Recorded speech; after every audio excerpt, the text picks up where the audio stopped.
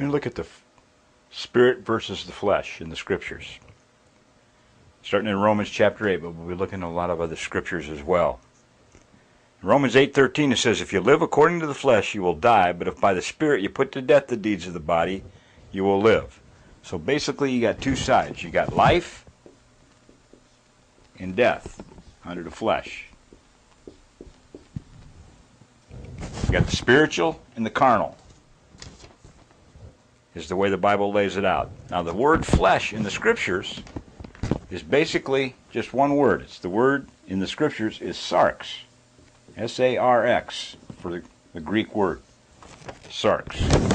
All that means is is the living substance that covers a body, uh, permeated with blood vessels. It's over man or beast, like just like I drew it there. The flesh of man, the flesh of beast. That's what it's talking about. So when the scriptures speak of living according to the flesh, it can't possibly be meaning that you have to have some kind of mystical existence on earth because we live continue to live in our mortal bodies as we'll show you here in the scriptures. It means the des- passions and the desires of the flesh. Now in many of the versions of the Bible like the NIV for example, they use sinful desire or sinful nature in Romans chapter 7 and 8. They always talk about if you live according to the sinful nature, you will die. But if by the Spirit you put to death the sinful nature. See, they, they translate it according to their doctrine that men are all born with this sinful nature and that flesh is part of the substance, that sin is part of the substance of the flesh. Well, see, it's not. Sin is just the passions and desires of the flesh. That's the way the Greek writers meant it. That's the way Paul was talking about it in Romans 6, 7, and 8 when he referred to these things. So you got to examine it in that light. So as human beings, then, we exist in a flesh, mortal body of flesh and bone. We exist in a mortal form, in a mortal body of flesh. It's like the old Lord was created in the likeness of sinful flesh, with the same passions and desires as man, as the Scripture points out. Our bodies are subject to physical death. We live our daily lives in this body, and our perspective towards the world is subject to the desires of our flesh. See, because the innate desires, the natural affections of the flesh, are not necessarily sin, as I'll show you here.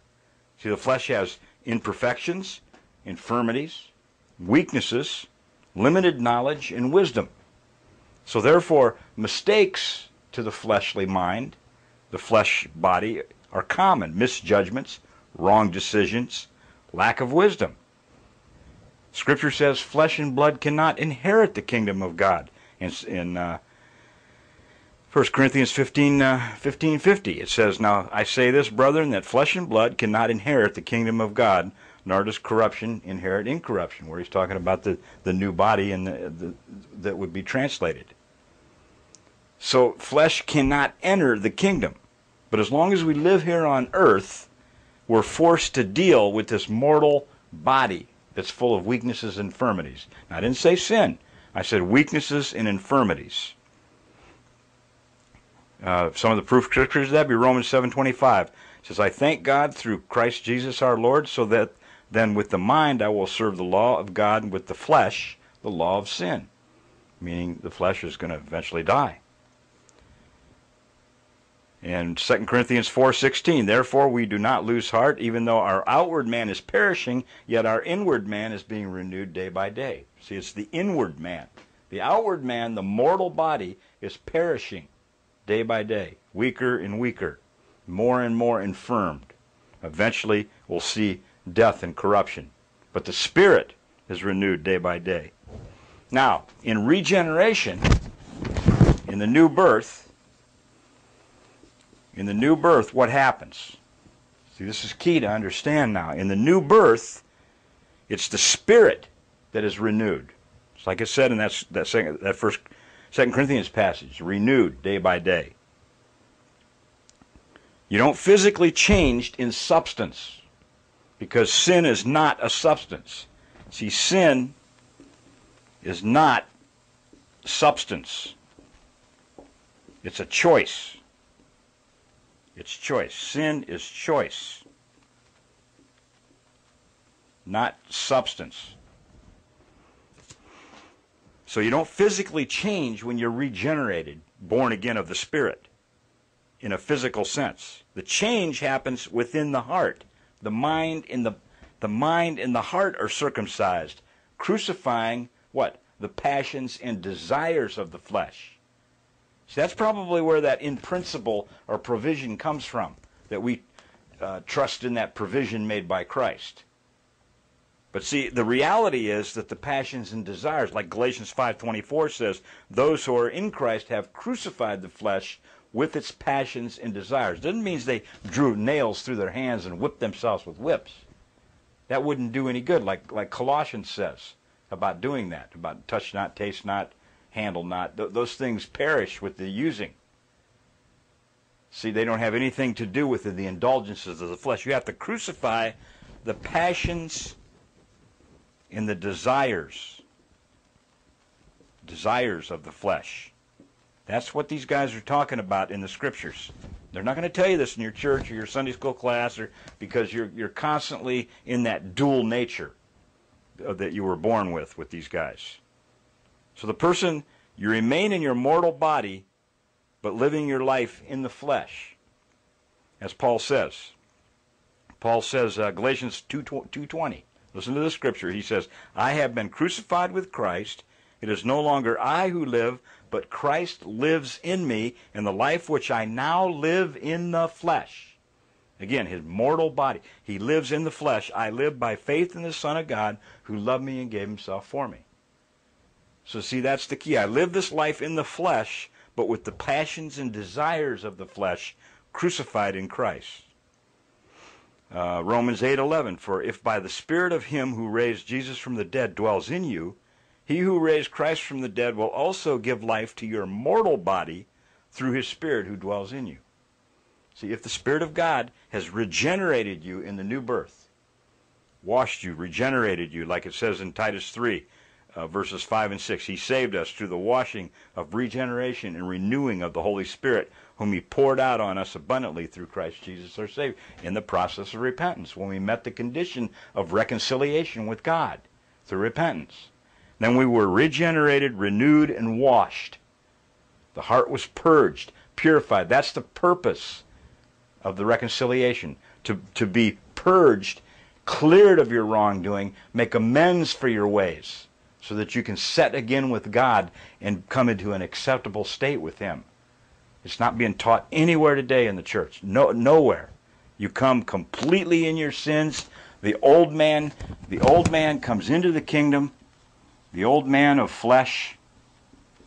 He comes into the kingdom, carnal, double-minded, double-minded, and divided.